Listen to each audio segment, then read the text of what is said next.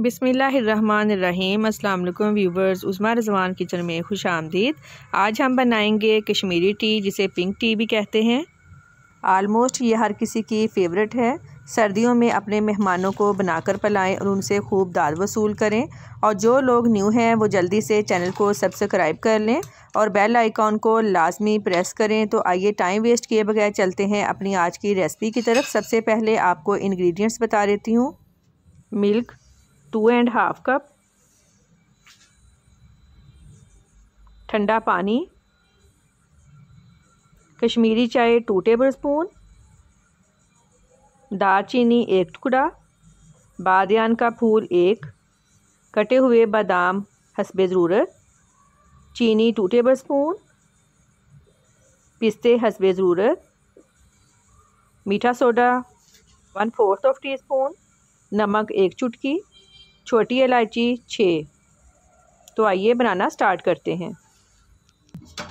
Pan में सबसे पहले छः कप ठंडा पानी ऐड करेंगे।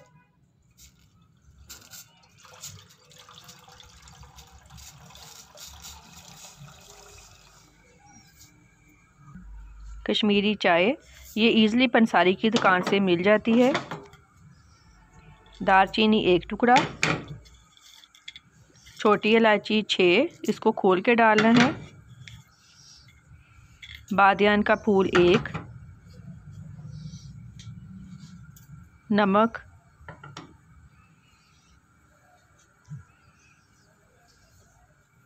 अब इसको मिक्स कर लेंगे। और कवर कर देते हैं जब तक बॉयल ना आ जाए। पानी में बॉयल आ गया है। ये देखें, कलर आना शुरू हो गया है। ठंडा पानी हमने इसीलिए डाला है, इससे बड़ा अच्छा कलर आता है। अब इस तरह हमने उछाल उछाल कर इसको पकाना है। इस तरह उछालते रहेंगे।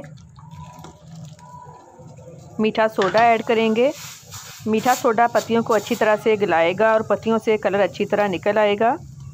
कावे को पकते हुए आलमोस्ट तीस से पैंतीस मिनट हो गए हैं। ये देखें, ऊपर आपको पिंक कलर की झाग भी नज़र आ रही होगी। बड़ा अच्छा कलर निकल आया है। सिक्स कप मैंने पानी ऐड किया था। ये पक कर तकरीबन डेढ़ कप रह गया है। बहुत ही अच्छा कलर निकल आया है। कावा हमारा रेडी है। अब इसको स्ट्रेन कर लेंगे।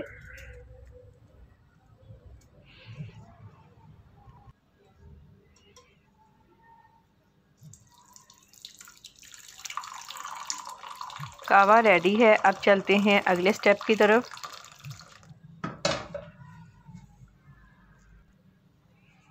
जितनी आपने चाय बनानी है, उस हिसाब से मिल्क ले लें। मैं दो कप बनाऊँगी। मैंने टू एंड हाफ़ का मिल्क लिया है। मिल्क आपने फुल फैट लेना है। अब इसको कवर कर देते हैं ताकि बॉयल आ जाए। ये देखें बॉयल आ गया है। अब इसमें चीनी ऐड करेंगे। चीनी आप अपने टेस्ट के हिसाब से कम या ज़्यादा कर सकते हैं। थोड़े से कटे हुए बादाम ऐड करेंगे। और कुछ पिस्ते, ताकि बादाम और पिस्ते का अच्छी तरह से इसमें फ्लेवर आ जाए। टू एंड हाफ़ कप मैंने मिल्क लिया था, अब इसको तब तक पकाना है, जब तक दूध दो कप ना रह जाए, क्योंकि दूध जितना गाढ़ा होगा, कश्मीरी चाय उतनी ही ज़्यादा मज़े की बनेगी। मिल्क दो कप रह गया है, अब इसमें कावा ऐड करेंगे, तकरीबन फ़ाइव टेबल स्पून आप जितना डालना चाहे अपनी मर्ज़ी से डाल सकते हैं। ये देखें कितना प्यारा कलर आया है। आप भी इस तरीके से कश्मीरी चाय लाजमी बनाएँ, आपको बहुत मज़ा आएगा। हमें फ़ीडबैक लाजमी दें कि आपको हमारी आज की रेसिपी कैसी लगी। मज़ीद अच्छी वीडियोस के लिए हमारा चैनल सब्सक्राइब करें लाइक करें और शेयर करें और बेल आइकॉन को लाजमी प्रेस करें ताकि हमारी नई आने वाली वीडियोस के नोटिफिकेशन आपको मिल सकें। दुआओं में याद रखिएगा, आपके कीमती वक्त का बहुत बहुत शुक्रिया। इन हाज़िर होंगे एक नई रेसिपी के साथ। तब तक इजाज़त दीजिए। अल्लाह हाफिज़।